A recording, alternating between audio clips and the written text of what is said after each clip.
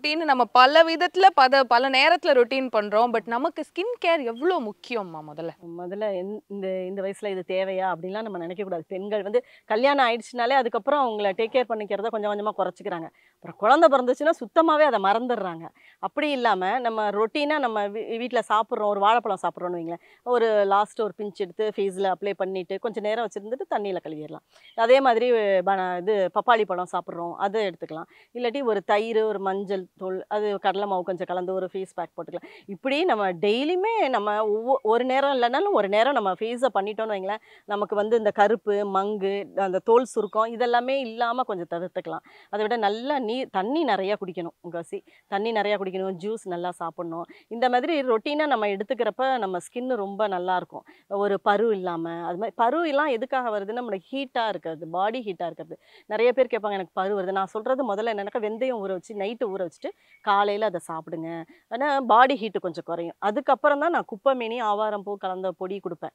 அதை வந்து face pack night ஒரு பத்து நிமிஷம் வந்து தண்ணியில் கலந்து ஃபேஸில் அப்ளை பண்ணிவிட்டு ஒரு காய விடக்கூடாது. கொஞ்சம் லேசாக போய் மசாஜ் பண்ணிவிட்டு நல்லா குளிர்ந்த தண்ணியில் கழுவிட்டு நம்ம படுத்துட்டோம்னு வைங்களேன் அது ரொம்ப நல்லாயிருக்கும். நம்ம எவ்வளோ மேக்கப் போட்டாலும் சரி நம்ம நைட்டு படுக்கிறப்ப இந்த மாதிரி ஒரு நேச்சுரலான ஒரு பொருளை வச்சு நம்ம ஃபேஸை வந்து க்ளீன் பண்ணிவிட்டு அதுக்கு வந்து ஒரு சப்போர்ட் கொடுத்துட்டு நம்ம படுக்கணும். ஏன்னா நிறைய பெயர் தெரியாத க்ரீம் அது இதெல்லாமே போட்டு மேக்கப் போட்டுக்கிறோம் வெளியில் போகிறோம் வெயிலில் அலையிறோம் அந்த மாதிரி இருக்கிறப்ப அந்த ஸ்கின் ரொம்ப டேமேஜ் ஆகும். அது இப்போ தெரியாது. நாளாக ஆக பார்த்தீங்கன்னா கண்ணுக்கு கீழே கொஞ்சம் கருவளையம் வரும். இந்த சைடு கருப்பாக இருக்கும் மங்கு விழும். கொஞ்சம் கொஞ்சம் புள்ளி வரும். அப்புறம் சோல் சுருக்கம் வரும். அப்படி தோல்லாம் சுருங்கினதுக்கு அப்புறம் தான் நம்ம தெரியும் ஐயோ நம்ம ரொம்ப வயசான மாதிரி ஐட்டமோ அந்த மாதிரி ஃபீல் வரும். நம்ம கவனிக்காமல் விட்டுட்டோமே அப்படின்னு நினைப்பாங்க. அப்படிலாம் இல்லாமல் நம்ம ரொட்டீனாக நம்ம லைஃப்பில் எதெல்லாம் சின்ன சின்ன வேலைகள் செய்கிறப்பயே அதையும் நம்ம ஸ்கின்னை வந்து ரொம்ப டேக் கேர் பண்ணிக்கணும். பண்ணிட்டோம்னா எல்லா வயசுலையும் இளமையாக அப்படியே நல்லா இருக்கலாம். இளமையா இருக்கிறதுக்கு கண்டிப்பா இந்த ஸ்கின் கேர்லாம் முக்கியம். பட் நம்ம இந்த மாதிரி இப்போ பனானா இல்ல பப்பாயா போடும்போது ஆக்னே இருக்கவங்க இருப்பாங்க. ஸ்கின் போர்ஸ்லாம் இருக்கும். ஸோ அது அப்போ வந்து ஒரு சின்ன பயம் இருக்கும் இல்லம்மா. ஸோ ஆக்னே இருக்க ஸ்கின்னுக்கு என்ன மாதிரியான குப்பைமேனி போடலாம். இல்லாட்டி வெறும் ஆவாரம் பொடி பொடி இருக்குது பார்த்தீங்களா அதை வந்து தண்ணீரில் கலந்து போடலாம். அல்லது ரொம்ப எரிச்சல் இருக்கும் சில பேருக்கு. அந்த பிம்பிள்ஸ்லலாம் படுறப்ப அப்போ ரோஸ் வாட்டர் கலந்து நம்ம போடுறது ரொம்ப நல்லாயிருக்கும் ரோஸ் வந்து ஸ்கின்னுக்கு ரொம்ப நல்லாயிருக்கும் நம்ம ஸ்ப்ரே பண்ணிக்கலாம் ரோஸ் வாட்டரில் இந்த பேக்கு கொஞ்சம் மிக்ஸ் பண்ணி banana face pack papaya face pack எதுனாலுமே ரோஸ் வாட்டர் கலந்து நம்ம போடுறப்ப அதோடைய எஃபெக்டே தனி ரொம்ப சில்லுன்னு இருக்கும். அதே போல் செம்பருத்தியும் போடலாம். செம்பருத்தி பூ ஸ்கின்னுக்கு ரொம்ப நல்லது. அது ரொம்ப சில்லுன்னு இருக்கும். நம்ம நைட்டு படுக்கிறப்ப இல்லை ஈவினிங்கில் ஃபேஸ் வாஷ் பண்ணுறதுக்கு முன்னாடி ஒரு அஞ்சு நிமிஷம் இந்த மாதிரி பேக் போட்டுட்டு நம்ம ஃபேஸ் கழுவிட்டு நம்ம போட்டோம்னா ஸ்கின் ரொம்ப நல்லாயிருக்கும் க்ளோவாக இருக்கும். அதாவது இதெல்லாம் போடுறதுனால வெள்ளையாயிடுவோமா அப்படிங்கிறதெல்லாம் கிடையாது. ஸ்கின் ஆரோக்கியமாக இருக்கும். எந்த விதமான அந்த கரும்புள்ளி கருவளையம் அதெல்லாம் இல்லாமல் நம்ம ஆரோக்கியமாக வச்சுக்கலாம் நம்ம ஸ்கின்னை. சூப்பர். நான் அந்த கருவளத்தை பத்தி தான் அடுத்து கேட்கலான்னு வந்தேன். நிறைய பேருக்கு இப்போ தூக்கம் இல்லாம இருக்கு. நான் அந்த கண்ணுக்கு கீழே வந்து இது கருவளையம் இருக்கு. கருவளையம் இருக்கு. கண்ணு கிட்ட இருக்கிற ஸ்கின் எல்லாமே சுருக்கம் விழுது இல்லையா? ஸோ இந்த மாதிரி கருவளையம் எல்லாம் வராம இருக்க? இந்த மாதிரி? நல்லா தூங்கணும் முதல்ல. அப்புறம் செல்லு கம்ப்யூட்டர் இதெல்லாம் பார்க்குறதுல பாடி ஹீட் ஆகிறது அது அப்படி இருக்குது கொஞ்சமாக விளக்கெண்ணெய் எடுத்து நம்ம ஸ்கின்னுக்கு கண்ணுக்கு கீழே கொஞ்சம் அப்ளை பண்ணிவிட்டு நம்ம செம்பருத்தி பொடி இருக்குது பார்த்தீங்களா அதை வந்து நம்ம பேக் மாதிரி ஒன்று போட்டுக்கலாம். அந்த செம்பருத்தி பேக் போட்டிங்கனாலே உங்களுக்கு தெரியும் அவ்வளோ சில்லுன்னு இருக்கும் ஃபேஸ்க்கு அதை போட்டுட்டு ஒரு அஞ்சு நிமிஷம் வச்சுருந்துட்டு இது ரொட்டீனாக வந்து எத்தனை தடவை போடுறது என்ன இதெல்லாம் பயப்படுறாங்க. அதெல்லாம் பயப்படவே தேவையில்லை. இது சைடு எஃபெக்ட் எதுவுமே வராது. நம்ம வாழைப்பழமே சொல்கிறேன் ஒரு நாளைக்கு ரெண்டு மூணு தடவை கூட ஃபேஸில் தேய்ச்சிக்கலாம். அதனால் ஒரு சைடு எஃபெக்ட்டும் வரப்போகிறது கிடையாது. நம்ம அதுக்கு பதிலாக நம்ம அது மாதிரி செம்பருத்தி பொடி வீட்டில் கிடைக்கிறது வாழைப்பழம் ப பப்பாயாவாகட்டும் எந்த ஃப்ரூட்ஸு கொஞ்சம் ஒரு ஃபேஷியல் பேக் போட்டோன்னு வைங்களேன் ரொம்ப நல்லாயிருக்கும் அந்த மாதிரி தோல் சுருக்கமும் வராது. கண்ணு கீழே அந்த கருவளையமும் வராது. கத்தாழை இருக்குது பார்த்தீங்களா அதை கத்தாழையை கட் பண்ணிவிட்டு அதை வந்து தூங்குறப்ப அதில் வச்சுட்டு கொஞ்ச நேரம் ஒரு அஞ்சு நிமிஷம் வச்சுருந்துட்டு அதுக்கப்புறம் ரிமூவ் பண்ணிடலாம் இந்த மாதிரி கண்ணுக்கு சில்லுன்னு இருக்கிறத வைக்கலாம். அதுக்கு தலைக்கு குளிக்கிறோம் பார்த்தீங்களா அதுவுமே நம்ம கண்ணுக்கு கருவ கண் கருவளையம் இருக்குங்கிறப்பயே கொஞ்சம் நல்லா வெந்தயம் தேய்ச்சி குளிக்கிறது கத்தாழை வச்சு குளிக்கிறது. இதெல்லாமே ஹீட்டு குறைஞ்சிச்சுனாலே அந்த கண்ணுக்குள்ளே இருக்கிற கருவளையமும் குறைஞ்சிரும். ஆமாங்க. அதனால நம்ம வந்து கண்ணு கருவளையம் ஆயிடுச்சு ஆயிடுச்சேன்னு கவலைப்படாமல் உடனே தலைக்கு எண்ணெய் தேய்ச்சி குளிக்கிறது இல்லை குளிர்ச்சியாக சாப்பிட்றது உள்ளார இன்டேக்கும் குளிர்ச்சியாக ஒரு மோர் ஒரு ஜூஸ் அது மாதிரி ஒரு ஃப்ரூட் ஜூஸ் அது மாதிரி குடிக்கிறது கண்ணுக்கு கீழே ஒரு பேக் போட்டுக்கிறது விளக்கெண்ணெய் வச்சுக்கிறது அப்புறம் கத்தாழை வச்சுக்கிறது இந்த மாதிரி நேச்சுரலாக வீட்டிலேயே சுய பராமரிப்பு செஞ்சுக்கிட்டோன்னா நமக்கு ரொம்ப நல்லா இருக்கும். எந்த வயசுலையும் எல்லா வயசுலையுமே செஞ்சுக்கலாம். இந்த வயசுக்காரங்க தான் செய்யணும் அப்படின்னு இல்லை. எல்லா வயசுல இருக்கிறவங்களும் அது மாதிரி செஞ்சுக்கலாம். ஆனா ஒரு பாயிண்ட்ல வந்து இந்த ஏஜிங் அப்படின்றது ஒரு கன்சர்னாவே மாறுது. இப்போ முப்பது வயசு தாண்டினாலே ஒர்க்கிங் உமனுக்கு எல்லாருமே இந்த ஆன்டி ஏஜிங் க்ரீம்னு ஒன்று யூஸ் பண்றோம். அதுக்கு நேச்சுரலாக தான் அது ஆல்டர்னேட்டிவ் இருக்கா? அதான்ப்பா அதான் நமக்கு பெயர் தெரியாத க்ரீமில் அது என்னென்ன போட்டிருக்காங்க? அது என்ன சைடு எஃபெக்ட் வரும் எதுவுமே தெரியாமல் நம்ம அதை யூஸ் பண்ணிக்கிட்டு இருக்கோம். அதுக்கு பதிலாக நமக்கு தெரிஞ்சது நம்ம விவசாயம் சார்ந்த இந்த செம்பருத்தி இருக்குது பார்த்திங்களா? அதுதான் பெஸ்ட்டு ரொம்ப. அது வந்து ஆன்டி ஏஜிங் அது வந்து தோலில் உள்ள செல்களை சாக விடாமல் பண்ணும். அப்போ வந்து தோல் வந்து மினுமினுப்பாகவும் ஷைனிங்காகவும் அப்படியே இருக்கும். டெட் செல் இருக்கிறப்ப தான் நமக்கு பார்த்தீங்கன்னா இந்த இடத்துல சுருக்கம் விழுகிறது. சின்ன சின்ன கரும்புள்ளிகள் வர்றது மங்கு வர்றது கலர்லாம் கம்மியாகிறது இது மாதிரி ஆகும். நம்ம செம்பருத்தி பொடியை வந்து இல்லை வீட்டில் செம்பருத்தி இருந்ததுன்னா அதை மிக்சியில் அரைச்சி அதை ஒரு பேக் மாதிரி போட்டுக்கிட்டோன்னு வைங்களேன். அது வந்து ஸ்கின்ல உள்ள செல்லை டெட் செல் ஆக விடாமல் இருக்கும். அப்போ ஸ்கின் எப்போதுமே உயிர்ப்போட இருக்கிறதுனால நம்ம ஸ்கின்னும் ரொம்ப ஆரோக்கியமாக இருக்கும். ஆமாம் அதனால் செம்பருத்தி தான் எல்லாத்துக்குமே பெஸ்ட்டுன்னு சொல்லுவேன். நிறைய இப்போ நம்ம வெயில்ல போறோன்றப்போ ரெண்டு விஷயம் நடக்குமா? ஒண்ணு ஸ்கின் பயங்கரமா டேன் ஆகும். கை மூஞ்சு கால் எல்லாமே பயங்கரமா டேன் ஆகும். அது டேன் ஆகுறதுனால என்னமோ இந்த பேட்ச் பேட்சா கருப்பாகும். ஸோ இந்த டேனிங் அப்படின்ற ஒரு விஷயத்தை தவிர்க்க என்ன பண்ணலாம்? வந்ததுமே கொஞ்சம் குளிர்ந்த நீரில் ஃபேஸை கழுவிட்டு நம்ம ரோஜா பூ இருக்குது பார்த்தீங்களா அது ரோஸ் வாட்டர் அப்ளை பண்ணிவிட்டு நம்ம ஃபேஸ் பேக் போட்டுக்கலாம் ஃப்ளோரல் ஃபேஸ் பேக் போட்டுக்கலாம் செம்பருத்தியும் ரோஜா இதெல்லாம். ரோஜா பூ வந்து டக்குன்னு டேனை ரிமூவ் பண்ணி கொடுக்கும். நீங்கள் ஒரு ஃபேஸ் பேக் போட்டுட்டு நீங்கள் கழு இப்போ வெயிலில் போட்டு வரோம் ஒரு ரோஸ் பேக் போட்டுட்டு நீங்கள் கொஞ்சம் நேரம் படுத்துருந்துட்டு கண்ணை முடிட்டு இருந்துட்டு அப்புறம் ஃபேஸ் வாஷ் பண்ணுறோன்னு வச்சிங்களேன் நமக்கே தெரியும் நல்லா டேன் ஆகிருக்கிறது நல்லா தெரியும். ரிமூவ் ஆகிடும் ரொம்ப நல்லாயிருக்கும் ஃப்ரெஷ்ஷாகவும் நம்ம ஃபீல் பண்ணுவோம். அதனால் அது மாதிரி பேக் வச்சுட்டு நம்ம நேச்சுரல் பேக்கை போ யூஸ் பண்ணோன்னு வைங்களேன் ரொம்ப நல்லாயிருக்கும் இப்ப நிறைய பெண்கள் வந்து மருதாணி வச்சுக்கிறது கிடையாது. ஆஃபீஸ் போறோம் அது இதுன்னு மாடர்ன் ட்ரெஸ்லாம் போடுறோம் சூட் ஆகாது அப்படின்னு சொல்லிட்டு. ஆனா இந்த மருதாணி வச்சுக்கிறதுனால உடம்புக்கு நிறைய நன்மைகள் இருக்கு இல்லையா? அதாவது உடம்பு சூட்டை குறைக்கிறதுக்கே மருதானை தான் வச்சுக்குவோம். இது வந்து நம்ம மருதானை வச்சுக்கிறதுலாம் ரொம்ப அழகுன்னு கூட நான் சொல்லுவேன். நான் அடிக்கடி வச்சுக்குவேன். அது போகிறதுக்குள்ளாரே திரும்ப திரும்ப அது மேலேயே வச்சுக்குவேன். என் நகைலாம் பாருங்க அப்படியே அந்த கலராகவே ஆயிடுச்சு. ஏன்னா அந்த மருதானை வச்சுக்கிறது ரொம்ப நல்லது. உடம்பு குளிர்ச்சி நம்ம பாடி ஹீட்டை ரெடியூஸ் பண்ணோம். அதுக்கும் ஒரு அழகு இருக்குது அப்போ பாருங்க இந்த ஸ்கின்ல வைக்கிற இந்த மருதானை அந்த கலர் கொடுக்குது. அப்போ அந்த ஸ்கின் வந்து எவ்வளவு அப்சர்வ் பண்ணுது? இப்போ நேச்சுரலாக நம்ம அந்த மருதானை போடுறோம். அதனால எந்த எஃபெக்ட்டும் நமக்கு சைடு எஃபெக்ட் வராது. ஆனால் அழகாக இருக்கும். அதுவே அது பாருங்க ஸ்கின்ல வேறு ஏதாவது ஒரு க்ரீம் போடுறோம் நீங்கள் அதுவும் உள்ளார இறங்கும் தானே? என்ன என்ன போட்டிருக்காங்க? அதில் என்ன சைடு எஃபெக்ட் வரும்? எதுவுமே தெரியாமல் நம்ம ஃபேஸில் போடுறோம். அப்போ அதுவும் உள்ளார இறங்கும். அது தெரிஞ்சுட்டு நம்ம வந்து நேச்சுரலாக நம்மளை சுற்றி இருக்கிற மூலிகைகளை வச்சு குப்பமேனி ஆவாரம்பூ செம்பருத்தி பொடி இந்த மாதிரி போட்டு ஒரு பேக் போட்டுக்கிறது ரொம்ப நல்லது. ஆரோக்கியமானதும் கூட. சைடு எஃபெக்ட் எதுவும் வராது நமக்கு. அதனால் அதையே ட்ரை பண்ணுங்க எல்லாரும். அதே மாதிரி கற்றாழை இது ஒரு ரொம்ப ஒரு ஸ்பெஷலான இன்கிரீடியன்ட். இல்லையா? எல்லாத்துக்குமே இதை யூஸ் பண்ணிக்கலாம். கத்தாழையை வந்து சாதாரணமாக பெண்கள் வந்து சாப்பிட்றது ரொம்ப நல்லது. மாசத்துல ஒரு மூணு நாள் அந்த கத்தாழை சோறு இல்லை நல்லா கழுவிடணும். நல்லா கழுவிட்டு அது கசக்கவே கசக்காது.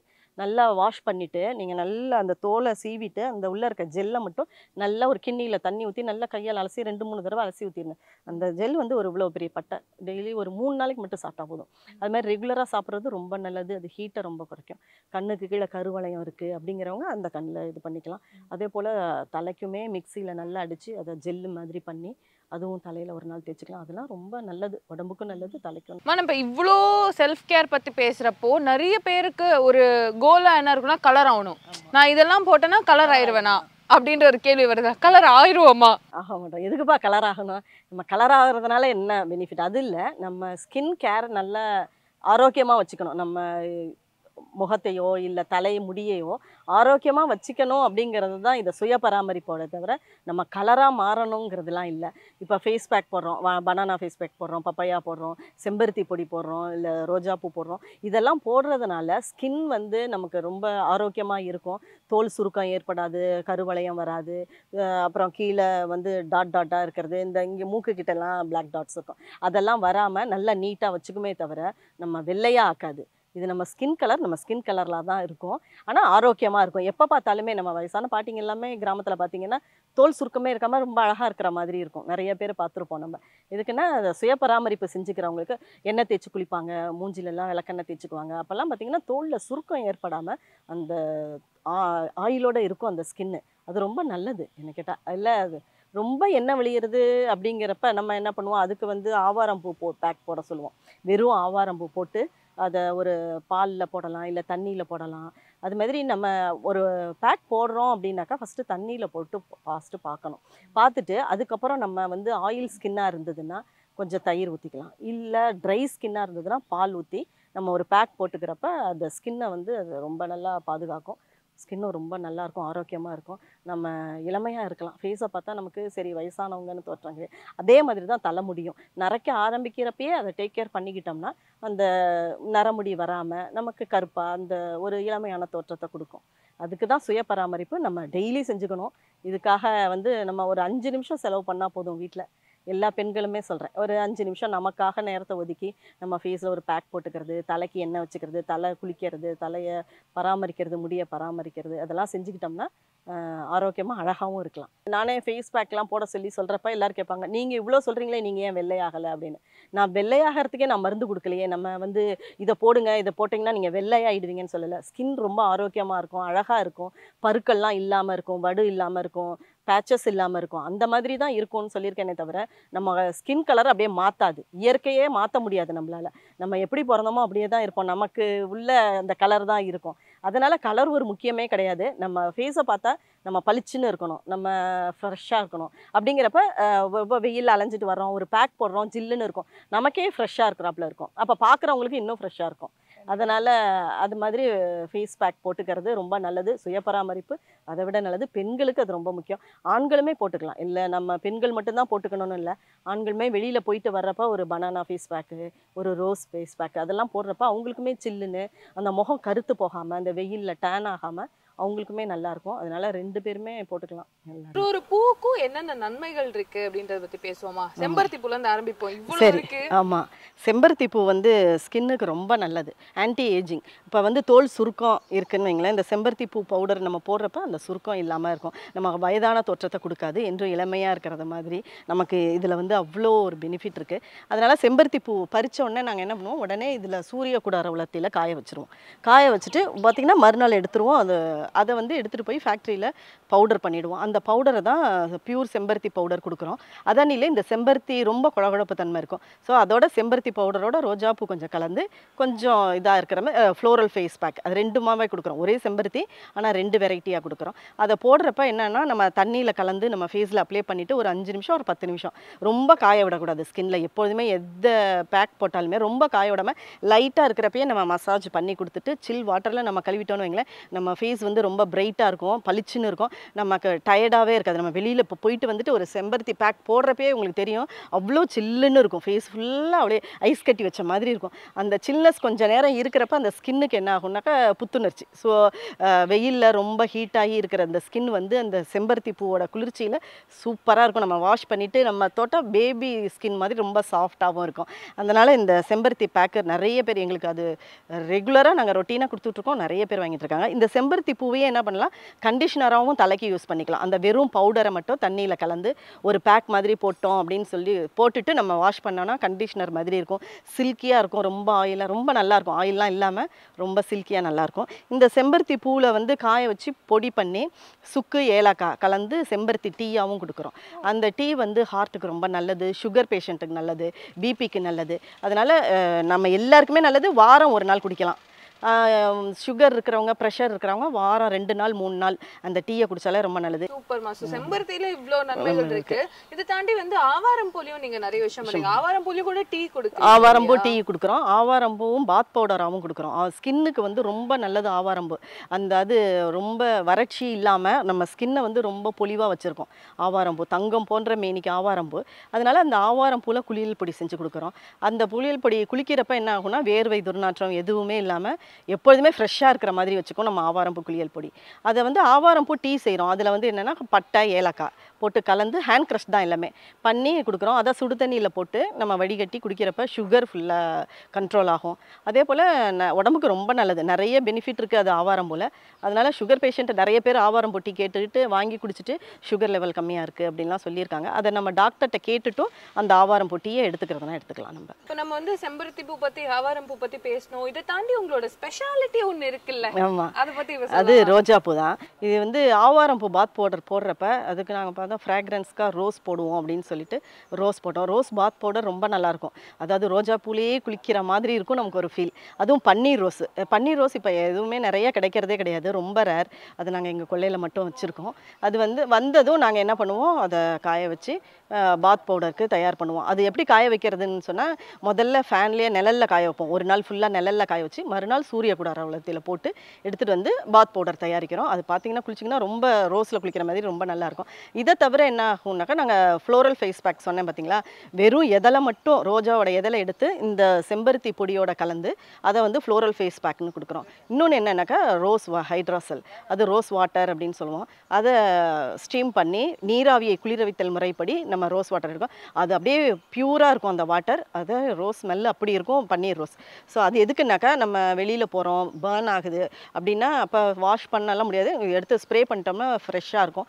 ஹேருக்கும் ஸ்ப்ரே பண்ணி பண்ணிக்கலாம். நம்ம ஃபேஸ்க்கும் ஃபேஸ் பண்ணி ப்ரெஸ் பண்ணிக்கலாம். ரொம்ப நல்லாயிருக்கும் அது ஸ்வெட்டிங்லாம் இல்லாமல் அந்த வேர்வை ஸ்மெல் இல்லாமல் ரொம்ப நீட்டாக ரொம்ப நல்லாயிருக்கும் குளிர்ச்சியாக இருக்கும். அதை அடித்து பார்த்தோம்னா தெரியும் அது. சூப்பர். ஆனா இதுக்கு எல்லாமே வந்து நிறைய பூக்கள் தேவைப்படும் இல்லம்மா எப்படி இந்த மேன் பவர்லாம் எப்படி பேலன்ஸ் பண்றீங்க ஏன்னா இவ்ளோ பெரிய தோட்டம்ன்றப்போ பூவை பறிக்கணும் ப்ராசஸ் பண்ணணும் நிறைய வேலை நிறைய வேலை இருக்குது நாங்கள் அதுவும் லேடிஸாக இருக்கிறதுனால எங்களுக்கு ரொம்ப கஷ்டம். இவ்வளோ தேங்காய் எல்லாம் உரிக்கணும் அப்படின்னாக்கா அதெல்லாம் ரொம்ப கஷ்டம். விவச வேளாண் விவசாயத்துறையில் நாங்கள் வேளாண் பொறியியல் துறையில் எங்களுக்கு வந்து அதுக்கான மிஷின்லாம் கொடுத்துருக்காங்க. இப்போ மட் இந்த தேங்காய் எல்லாம் உரிக்கிறதுக்கு மட்டை உரைக்கும் இயந்திரம். அது வந்து பார்த்திங்கன்னா ஒரு மணி நேரத்துக்கு அறநூறு காய் உரிக்கும். ஸோ அதனால் எங்களுக்கு ஈஸியாக நாங்கள் அதில் போட்டு எடுத்து உடச்சி அப்புறம் சூரிய கூடாரம் உலர்த்தி இங்கே கொண்டு வந்து காய வைப்போம். இப்போ இவ்வளோ பூ பூக்குது இவ்வளோ பூவையும் நாங்கள் காய வைக்கணும் அப்படிங்கிறப்ப இப்போ வேலையாட்கள் இருக்கிறாங்க இரு ஒவ்வொரு நேரம் மழை வந்துருச்சுன்னா எடுக்க யாரும் இருக்க மாட்டாங்க. இப்போ சூரிய கூடாரம் உலர்த்தினா இதுக்குள்ளார போய் போட்டுருவோம். போட்டுட்டு இவங்க வேலை முடிச்சு போயிடுவாங்க. மழை வந்தாலும் எங்களுக்கு கவலை எல்லாம் ஒன்றுமே இல்லை. ஏன்னா உள்ளார இருக்கும். இது இங்கே இருக்கிற வெப்பத்தை விட நாலு மடங்கு உள்ளார ஹீட் அதிகமாக இருக்கும். அதனால இது என்ன ஆகும்னா மறுநாள் கா காலையில் எங்களுக்கு பூ ஃப்ரெஷ்ஷாக அப்படியே காஞ்சிருக்கும். அந்த ஈரத்தன்மை மட்டும் இல்லாமல் அப்படியே காஞ்சிருக்கும். அந்த காஞ்ச பூவை எடுத்து தான் நாங்கள் பவுடர் பண்ணுவோம். அது பவுடர் பண்ணுறப்ப அது எங்களுக்கு ஈஸியாக ஒரு நாள் விட்டு ஒரு நாள் எங்களுக்கு இங்கேருந்து பவுடர் பவுடர் பண்ணுறதுக்கு இந்த பூ வந்துடும் அது வந்து எங்களுக்கு ரொம்ப ஈஸியாக இருக்கும். சுபமுகூர்த்த பட்டுக்களுக்கு பிஎஸ்ஆர் சில்க்ஸ் தமிழ்நாடு மற்றும் பாண்டிச்சேரி. நம்ம ஊர் ஹீரோ டிலோ அ குவாலிட்டி ப்ராடக்ட் ஃப்ரம் போடாரன் ஃபுட்ஸ் அருண் ராஜா ரொம்ப ரியலிஸ்டிக்காக பண்ணியிருக்காரு. ஜெய் அட்வொகேட்டாக ரொம்ப சூப்பராக பண்ணியிருக்காரு.